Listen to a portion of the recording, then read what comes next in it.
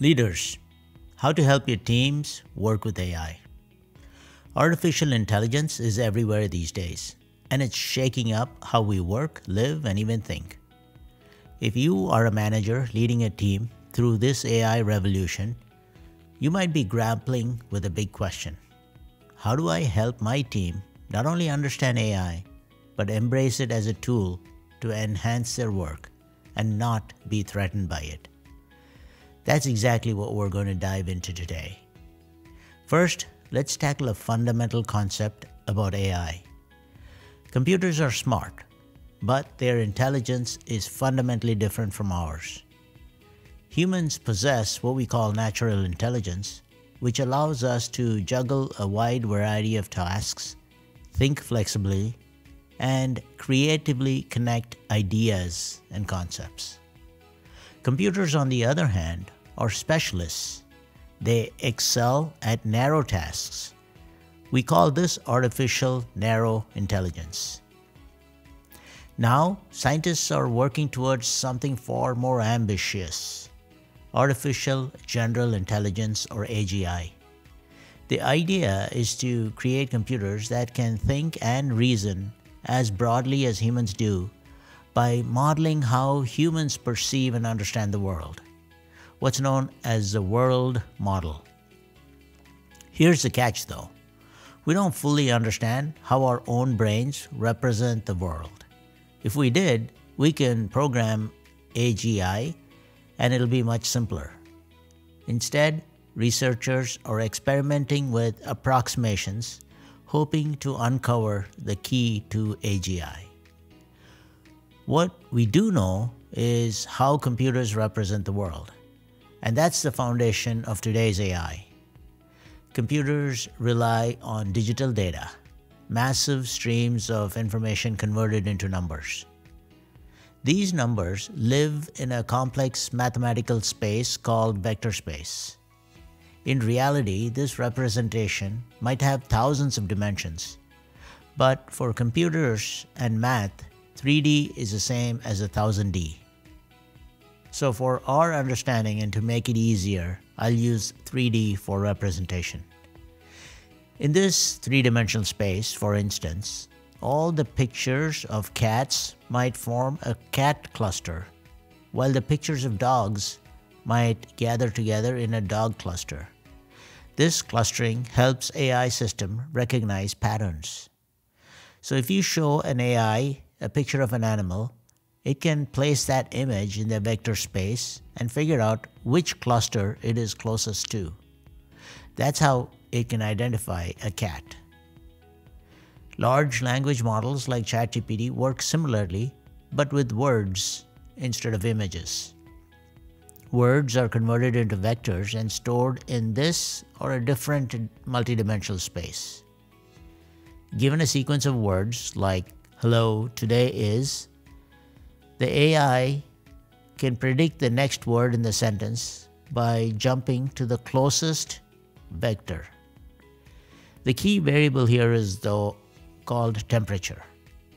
If the temperature is very high, the AI generates more creative outputs and jumps to vectors in a more random way. But it also risks sounding random and hallucinating.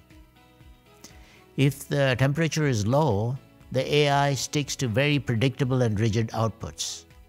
So striking the right balance is critical. Now let's circle back to the human brain. It operates quite differently. While computers are strictly digital, the brain might be analog or even a mix of analog and digital. Plus, our brain has chemistry and chemicals, uses emotions, and, and feelings are also captured. We also get our input from many sensors like touch, sight, smell, taste, and sound to create the model of the world. This makes our intelligence far richer and more nuanced.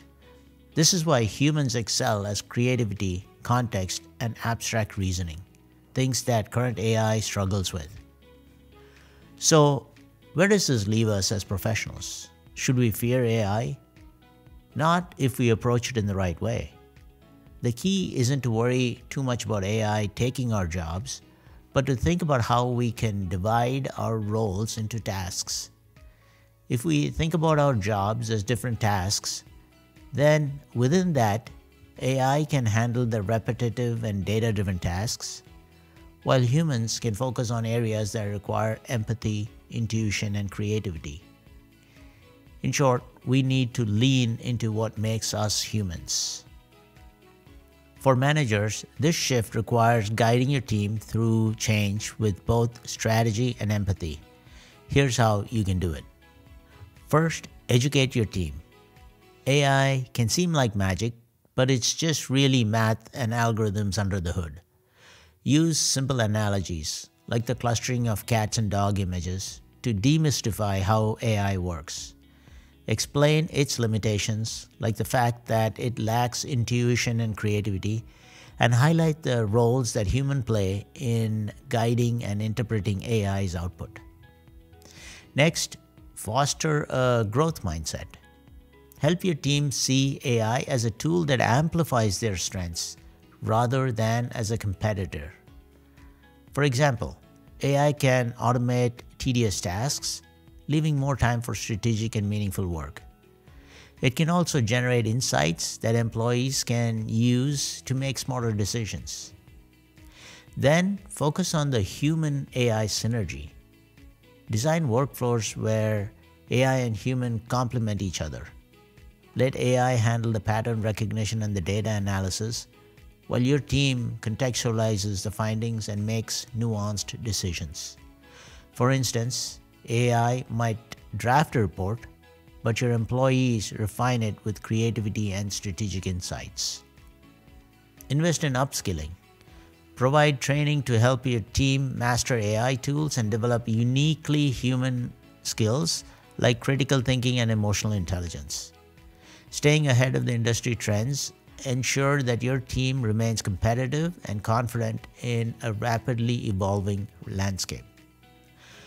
Finally, don't overlook the emotional side. Change can be very scary, and employees may fear that AI threatens their job security. Address these concerns openly and with empathy. Share success of teams that have embraced AI and thrived and reassure your teams that their roles are evolving, not disappearing. Be human. By taking these steps, you can create a workplace where AI isn't seen as an enemy but as a powerful ally. Together, humans and AI can achieve outcomes far greater than either one could do alone. And as a manager, your most important role is to guide your team in adapting to this new reality not just to survive, but to thrive. By the way, if you need help with this to get started, I can talk with your team to help them understand the world of AI better so they can enhance their own models of the world on this topic for both their good and the organization's good.